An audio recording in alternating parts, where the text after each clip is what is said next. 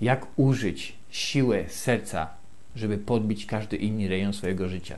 I w tym filmie opowiem też o tym, dlaczego samo serce, sama ta empatia, to wczucie, ta miłość nie wystarczy, jeżeli nie zadbasz o inny rejon swojego życia.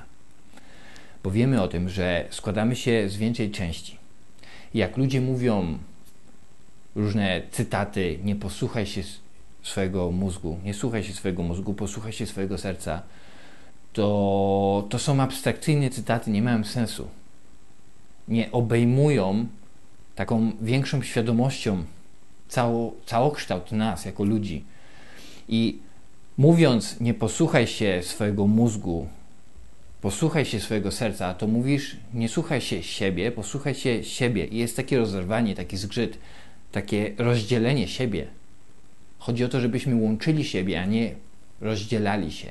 Bo jedna rzecz pomaga drugiej. Więc jak mamy z jednej strony intelekt, z drugiej strony serce, to te rzeczy są całkiem inne. Intelekt patrzy na świat, ta świadomość intelektu, mentalna, patrzy na świat całkiem inaczej, ma inne cechy. Serce ma inne cechy. Chodzi o to, żebyśmy dodawali te rzeczy nawzajem, żeby pomagały sobie.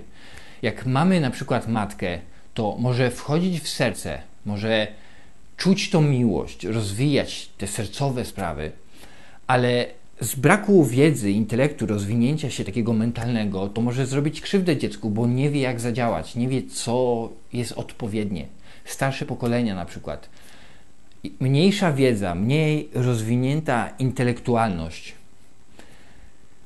to na przykład z miłości z troski, z takiej miłości dla dziecka dasz mu słodycze, żeby się cieszył, żeby się czuł fajnie. I się czujesz fajnie, bo się cieszy to dziecko.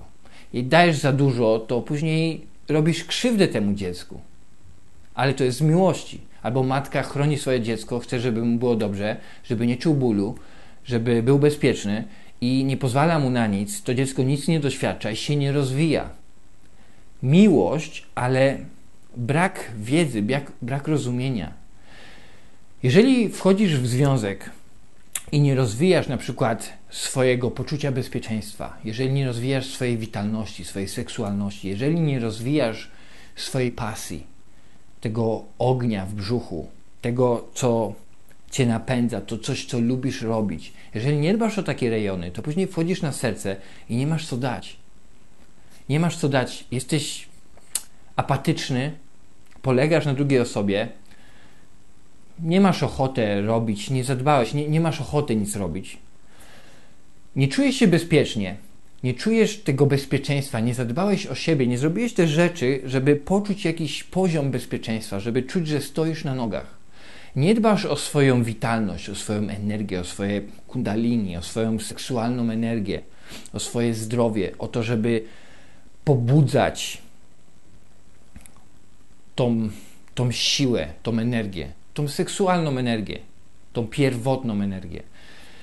Jeżeli nie dbasz o takie rzeczy, to później wchodzisz w związek, otwierasz swoje serce i nie masz co dać, i jak dajesz coś, to dajesz siebie, to jest to z takiego poczucia braku. W sensie czujesz, że coś tracisz, czujesz, że musi ci się to zwrócić, czujesz, że polegasz. Więc to jest ok do pewnego poziomu. Jak wchodzisz w serce, to zawsze jest uczucie ryzyka, bo wchodzisz w serce i serce nie jest logiczne. Serce ma rację, wie, wie co zrobić. Reszta ciebie nie wie, jak to rozumieć. Reszta ciebie nie wie, jak to zorganizować wszystko w prawdziwy, realny świat. Jeżeli nie jest rozwinięte. Więc mówią ludzie, nie otwieraj za bardzo swojego serca. I to jest takie błędne rozumienie. Chodzi o to, że możemy otworzyć swoje serce, powiększać tą świadomość, poszerzać swoje serce, ale jeżeli to robisz, to musisz trzymać tą równowagę i resztę ciebie, o resztę ciebie zadbać. Otwierać też poczucie bezpieczeństwa, powiększać, w sensie zbudować większą podstawę, na której stoisz bardziej stabilnie. Zbudować większą witalność, zbudować większą zainwestować w swoją pasję, w to, co cię napędza, powiększyć, poszerzyć to. Później też wchodzisz na serce i poszerzasz, możesz jeszcze więcej objąć ludzi. Teraz, Jeżeli coś robisz i wchodzi w to serce, to wchodzi to na całkiem inny wymiar. Wiemy o tym, że mentalnie, intelektualnie może zrobić pewne rzeczy, osiągnąć pewne efekty, zrobić. Będzie efekt. Ludzie komunikują się mentalnie. I wiemy o tym, że mózg produkuje pole elektromagnetyczne. Teraz, jeżeli w tą rzecz wsadzisz też serce, dodasz tą świadomość serca, te cechy, które ma serce, dodasz, to efekt, który możesz osiągnąć, jest dużo, dużo większy. Wiemy o tym, że serce produkuje pole elektromagnetyczne dużo, dużo większe niż mózg. Ma wpływ, promieniujesz, wpływasz. Więc jak masz pasję na przykład, jak masz rzecz, to jak wprowadzisz w to serce i w tą Twoją pasję dodajesz ten element serca, to zaczynasz robić coś więcej dla kogoś, zaczynasz skupiać się na innych ludziach, zaczynasz serce, kontakt, połączenie, altruizm. Zaczynasz robić tą rzecz dla czegoś większego niż sam ty, niż z takiego egoistycznego punktu. Zaczynasz to robić dla czegoś większego od ciebie. Serce jest bazą, serce jest podstawą, serce jest pierwszym organem, który się kształtuje. Pierwsza rzecz, która się manifestuje fizycznie, to jest serce. I serce jest mostem, łączy mentalne, duchowe, takie wymiary myśli, mentalność, jeszcze wyżej duchowość, takie bardziej nienamacalne rzeczy. Łączy to wszystko, jest mostem z fizycznością, z namacalnym. Więc jeżeli ktoś ma zamknięte serce, to ogranicza siebie i ogranicza każdy inny rejon swojego życia. Owszem, można kompensować za brak otwarcia serca, budować dużo więcej w innych rejonach swojego życia, ale będzie pustka, będzie wypalenie i przychodzi moment, gdzie nie możesz przebić się. I to wszystko się łączy. Czasami próbujesz przebić się w innym rejonie swojego życia i widzisz, że do tego jest potrzebne serce, jest potrzebne poczucie, jest potrzebne przejście przez jakieś sercowe rzeczy. Często związki są takie intelektualne, że jest zamiana taka intelektualna, że zrobię tą rzecz, która jest poprawnie polityczna, która jest dobra. Zrobię tą rzecz altruistyczną. Takie zachowania sercowe, bez otwartego serca. I to jest tak, że robisz te rzeczy, wszystkie te zachowania, ale nie mają serca. I wtedy czujesz, to co czujesz, to jest taki high mentalny, takie, takie egoistyczne podbicie, że ja jestem dobrą osobą, bo ja robię te rzeczy sercowe. Ale nie ma tego prawdziwego połączenia, nie ma tej prawdziwej siły serca.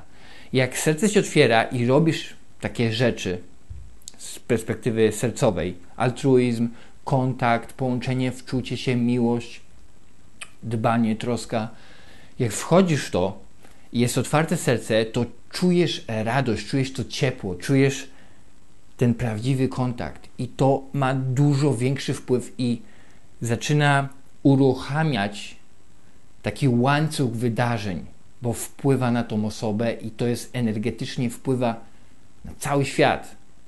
Więc jak jest zamknięte serce, to możesz mentalnie zachowywać się i są takie transakcje, że ja zrobię pewne rzeczy dla ciebie, które są oficjalnie dobre, że to wychodzą z miłości. A jak otworzy ci się serce, to dużo ludzi ma dużo bólu w sobie. Mamy te cierpienia, mamy te, te smutki, to rozczarowanie kiedyś. I jak to się otwiera, to wycieka to. I jeżeli zobaczymy prawdziwą taką demonstrację sercową, czyli zobaczymy, że ktoś zrobił coś dla kogoś, albo obejrzymy film, gdzie dzieje się pewna rzecz taka sercowa, to wzrusza nas to i aktywuje się na chwilę to serce, ale to jest niewygodne dla większości ludzi, bo to kojarzy się ze słabością. I boimy się otworzyć, bo widzimy, że wzruszymy się, że poczujemy się źle. Na przykład widzisz pewne rzeczy nieprzyjemne dla ciebie i nie chcesz otworzyć swojego serca, żeby nie czuć tych rzeczy. Ochronisz siebie. Czyli jest związek, na przykład druga osoba jest w pewnym stanie niefajnym i druga osoba się dystansuje, zamyka swoje serce, bo nie chce wejść w to, bo to nie jest przyjemne. Bo jak otworzysz swoje serce, to będziesz czuł tą osobę. Więc, żeby otworzyć swoje serce, to też trzeba być chętnym, żeby poczuć te uczucia. I czasami są smutne rzeczy, siedzą w nas.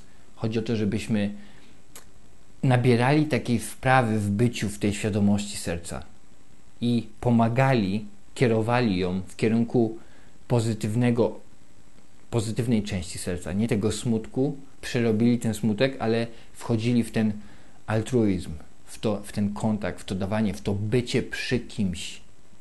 Po prostu.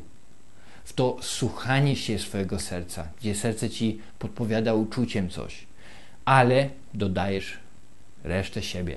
Więc, tak jak w rozwoju osobistym, tak jak wszędzie, zawsze osiągniesz pewien efekt pewną rzeczą, ale musisz dodawać i dodawać i dodawać. Na przykład rozwijasz się, zrobisz tą rzecz, że otworzysz się, pokażesz się, ujawnisz się.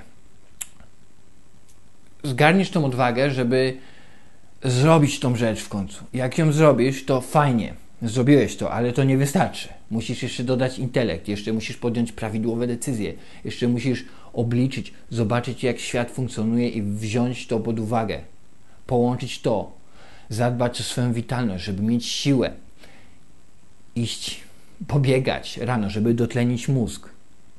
Wszystko nawzajem się łączy, więc można mówić, Boże, to jest za dużo, to mnie męczy, to po prostu zależy, czego chcesz. Jak chcesz iść do góry, jak chcesz się rozwijać, to po prostu trzeba powiedzieć, do końca swojego życia będę musiał dbać o pewne rzeczy. Do końca i koniec. Więc mam nadzieję, że ten film pomaga. Mam nadzieję, że zwróci uwagę na rzeczy, które może unikasz, na rzeczy, które może nie zdajesz sobie sprawę, że coś jest opuszczone, jakiś rejon mojego życia. Jakoś używam swoje serce, może nieoptymalnie, bo Jezus, nie symbol serca, nie jest sam. Jest też Bóg, jest też Duch Święty, nie? Symbolicznie Bóg, mentalność, wizja, twórczość, myślenie. Jezus, serce, kontakt, połączenie nabiera całkiem innego wymiaru ta mentalność. Jest wpływ, jest połączenie z ludźmi. Duch Święty, ta witalność, ta siła seksualna, to kundalini, to, to pierwotne, co mamy w sobie, ten instynkt, to przeczucie. Więc mam nadzieję, że ten film jest pomocny. Jeżeli tak, to zostaw lajka. Jeżeli interesuje Cię kanał i tematyka, to może subskrybować. Widzimy się następnym razem.